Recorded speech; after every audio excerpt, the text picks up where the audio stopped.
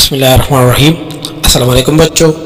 آج ہم grade seven میں یونٹ نمبر ٹویلو یعنی نئی لیسن کو شروع کریں گے، جس کا نام ہے دا پرنس اینڈ پاپر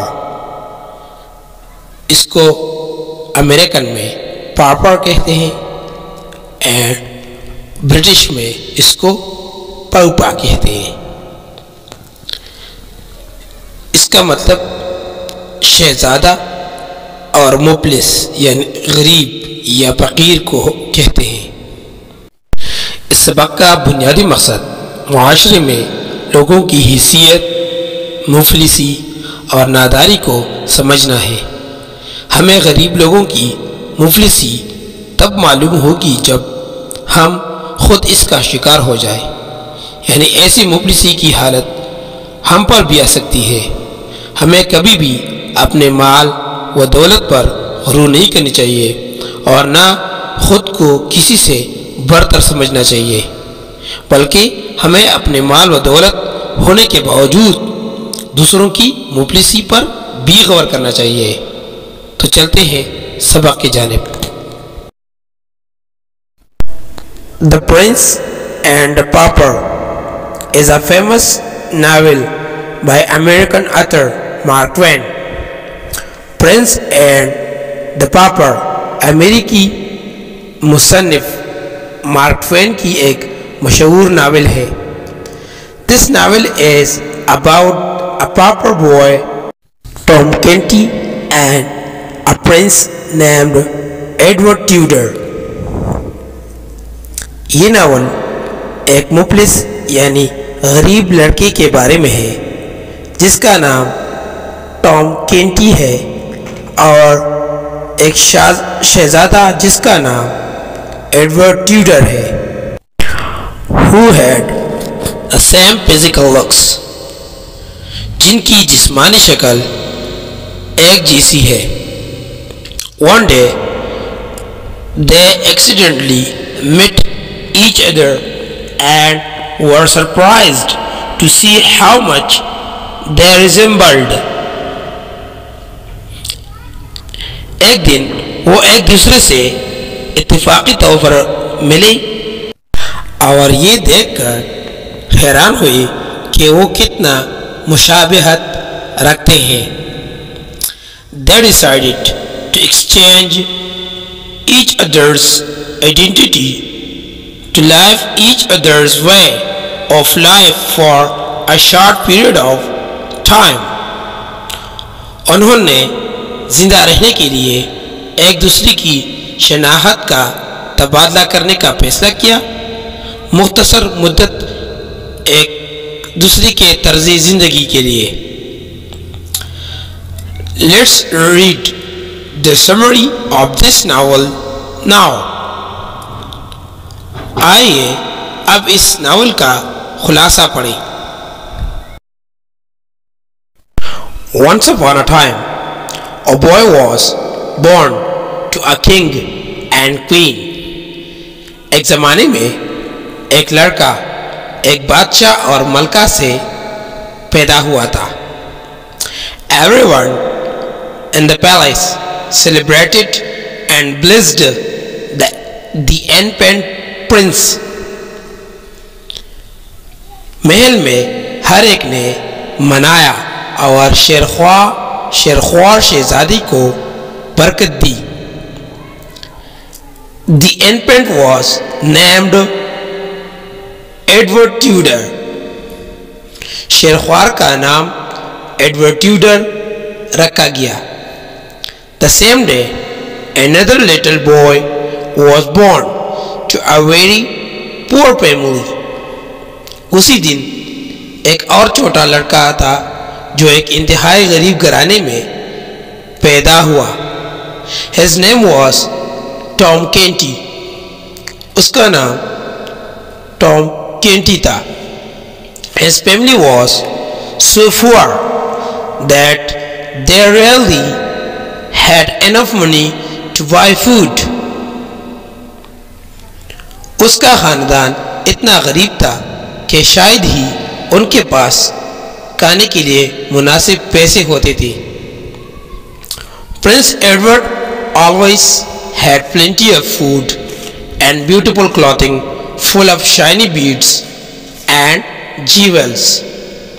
شہزادے ایڈورڈ کے پاس کھانے کے لیے بہت زیادہ خوراک اور خوبصورت لباس چمکدار موتیوں سے بھرے ہوئے تھے اور زیورات تھے the king doted on his only son and raised him in comfort and love بادشاہ نے اپنے اکلوتی بیٹے پر داد دی اور اس کی سکون اور محبت سے پرورش کی۔ Tom grew up, in starvation and hunger and had to plead her to her for a bite to eat. Tom بھوک اور اپلاس میں بڑا اور اسے مجبور ہونا پڑا کہ گھر گھر سے کھانا کاٹ کر یعنی مانگ کر تلاش کرے his father was so cruel and mean اس کا باپ بہت ظالم اور مطلب والا تھا۔ One day Tom was very upset ایک دن ٹام بہت پریشان تھا۔ He left home and wandered the streets aimlessly until he found himself before a magnificent palace اس نے گھر چھوڑ دیا اور سڑکوں پر بے مقصد گھومتا رہا یہاں تک کہ اس نے اپنے آپ کو ایک شاندار محل سے پہلے پا لیا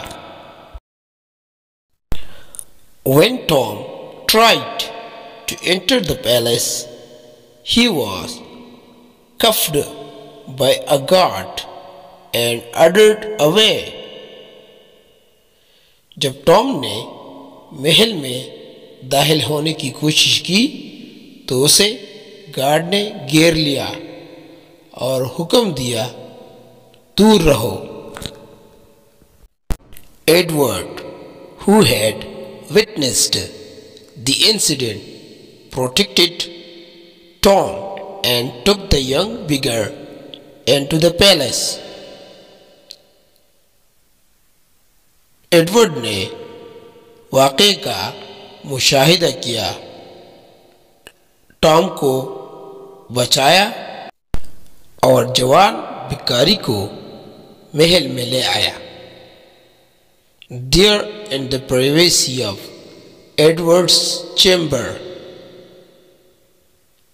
وہاں ایڈورڈ کے خانے کے رازداری میں Tom confessed his longing to be a prince. Tom نے اپنے خواہش کا اظہار کیا کہ ایک شہزادہ ہو۔ Prince decided to give him happiness by fulfilling his wish. شہزادی نے اس کی خواہش پورا کرنے اور خوشی دینے کا فیصلہ کیا۔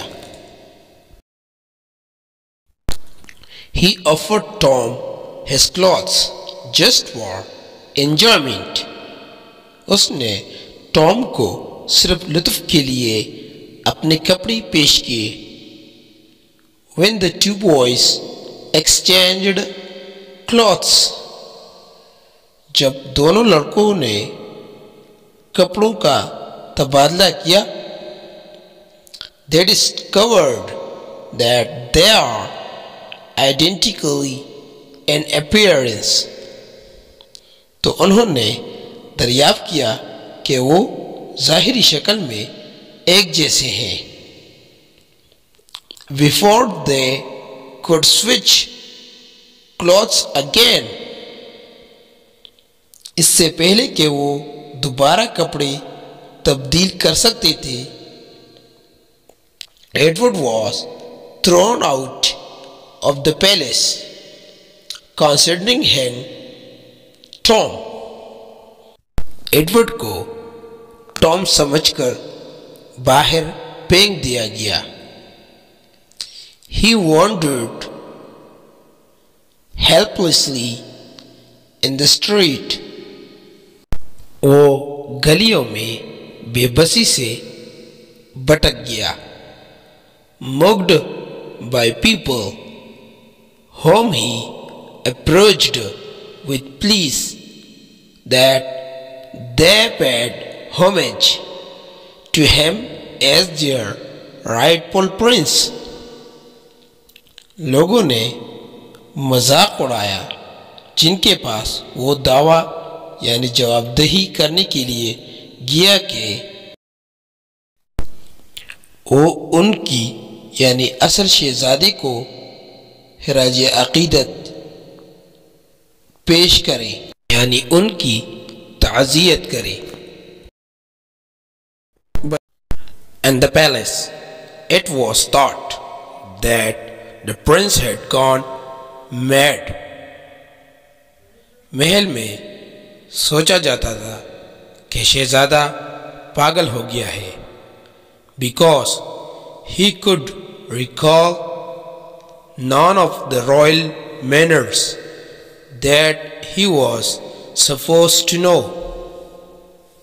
کیونکہ وہ شاہی آداب میں کوئی یاد نہیں کر سکتا تھا، جس کے بارے میں وہ جانتا تھا۔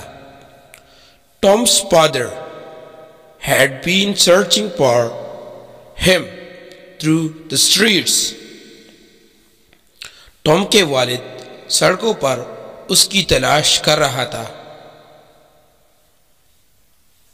suddenly he saw the prince and rush towards him اچانک اس نے شہزادہ کو دیکھا اور اس کی طرف بڑھا He ill-treated the prince like he always did.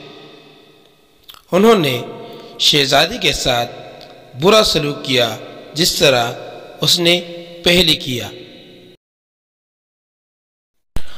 On the other hand اور دوسری طرف Tom was little better off in the palace Tom Mahal میں کچھ بہتر تھا۔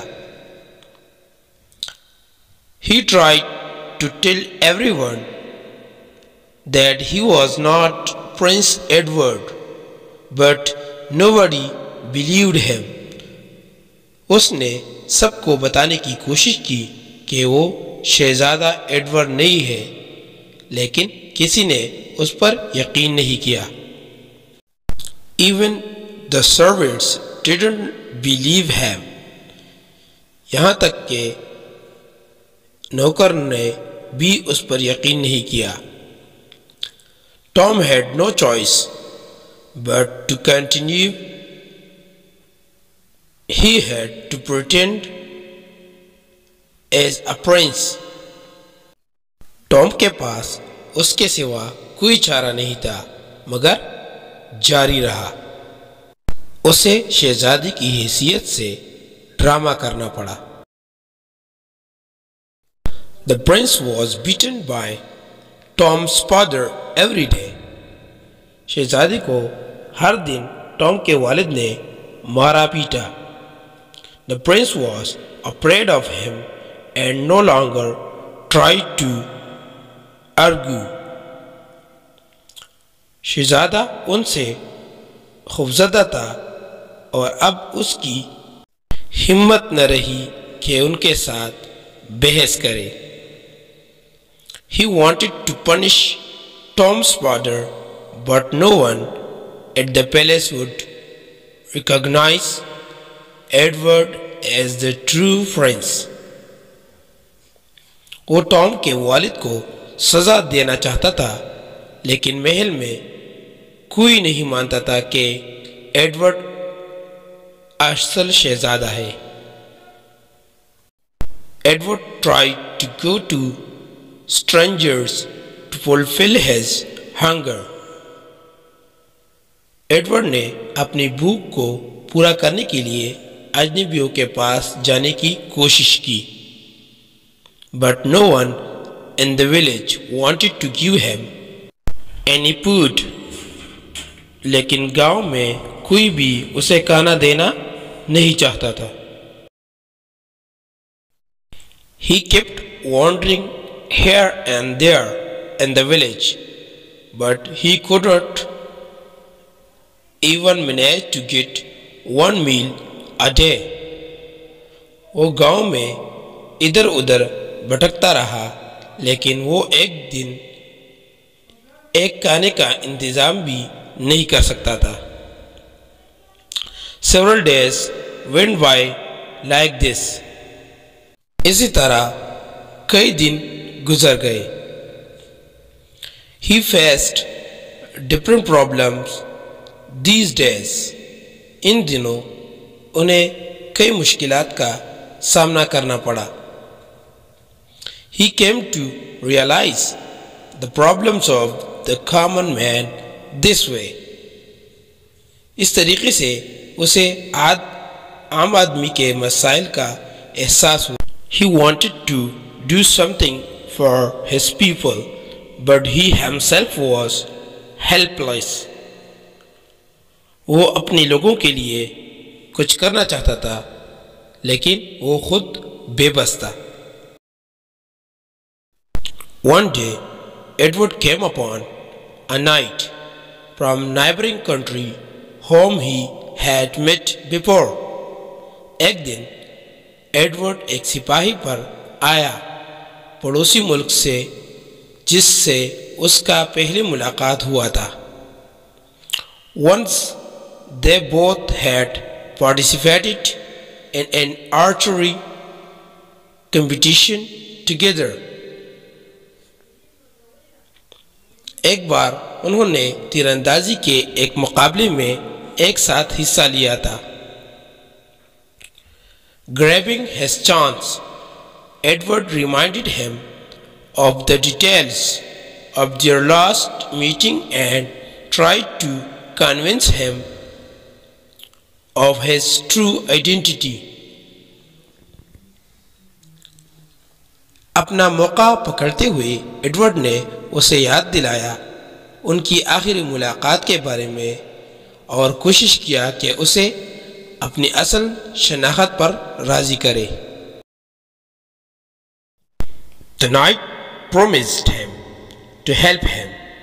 سپاہی نے اس کی مدد کرنے کا فیصلہ کیا۔ He seated the prince on his horse and they rode to the palace together اس نے شہزادے کو اپنے گھوڑے پر بٹھایا اور وہ ایک ساتھ محل تک سوار ہوئے۔ While all this was happening the king had died and everyone at the palace was focused on Tom's coronation یہ سب کچھ ہو رہا تھا، بادشاہ مر چکا تھا۔ اور محل میں سب کی توجہ ٹام کی تاج پوشی کی طرف تھی۔ At the very moment prince Edward burst into the throne room اسی وقت شہزادہ ایڈورڈ تخت کے کمرے میں رو پڑا۔ Tom was confused and sad Tom حیران اور پریشان تھا he knew what his duty was but he was afraid to go back to his old life as a pauper وہ جانتا تھا کہ اس کا فرض کیا ہے، لیکن وہ ایک غریب کی حیثیت سے اپنی پرانی زندگی میں واپس جانے سے خوف زدہ تھا finally he made a decision and raised his voice above the din. آخرکار اس نے ایک فیصلہ کیا اور اپنی آواز محل میں اٹھایا یعنی تیز آواز اٹھایا ہی اسپوک دا ٹروتھ اس نے سچ بولا everyone in the palace was surprised to know the truth Mahal میں ہر کوئی سچ جان کر حیران ہوا prince Edward was deeply impressed with Tom's honesty and loyalty. شہزادہ ایڈورڈ ٹام کی ایمانداری اور وفاداری سے بہت متاثر ہوا۔ He as Tom to stay with him and made him a knight اس نے ٹام کو اپنے ساتھ رہنے کو کہا اور اسے سپاہی بنا دیا۔ Tom became King Edward, chief advisor, and lived in the palace for the rest of his life. Tom King Edward کا چیف ایڈوائزر بن گیا اور ساری زندگی محل میں رہا The prince and the papa became close friends as real brothers. شہزادہ اور فقیر یعنی پاپڑ حقیقی بائیوں کی طرح قریبی دوست بن گئے۔ They promised to rule the country together with honour and generosity انہوں نے ملک میں عزت اور سخاوت کے ساتھ حکومت کرنے کا وعدہ کیا۔ Making sure that everyone was safe and content اس بات کو یقینی بناتے ہوئے کہ ہر کوئی محفوظ اور مطمئن یعنی خوش یا راضی رہے۔ For more updates subscribe to our channel